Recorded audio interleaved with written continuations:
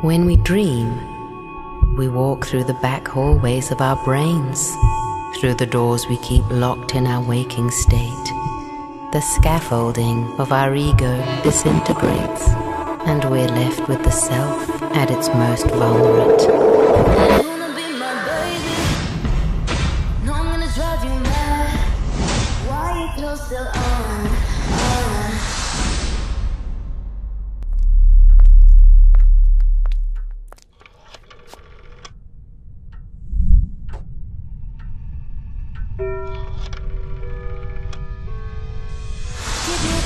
For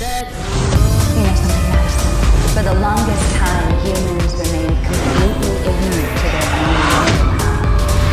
They didn't know that that voice that they heard in their head, commanding them to love, care, that voice was their own.